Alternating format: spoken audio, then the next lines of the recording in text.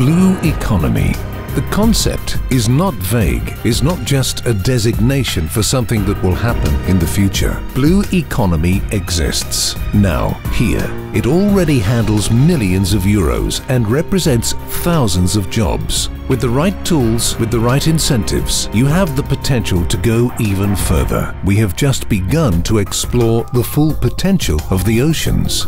That's why we created the BlueTech Accelerator. On one side, we bring together the main players in the sector. On the other side, we have joined the most promising startups of technological roots and who want to develop work in these areas. And in doing so, we are bringing together innovation and economics science and tradition, knowledge and experience. Everything works in a very simple way. First phase, applications. We invite startups who want to work in this area to apply for the program and select those with the highest potential. Second phase, Boot Camp.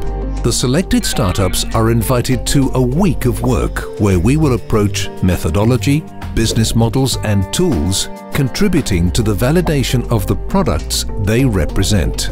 The best startups will then have the opportunity to develop pilot products with the best partners in the industry. Third phase. Pilot development. The program provides for a period of three months for the development of the pilot product, a period during which selected startups have access to mentoring, training and the BlueTech Accelerator Partner Network. Fourth phase, Demo Day.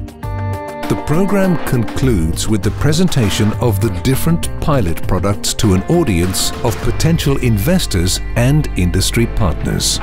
A program that aims to create a true ecosystem of innovation and business acceleration in the most important traditional and emerging areas of the blue economy. By doing it, we are also contributing to the development of a whole new generation of Portuguese entrepreneurs, both at sea and to the sea. BlueTech Accelerator. Creating a new ocean startups generation.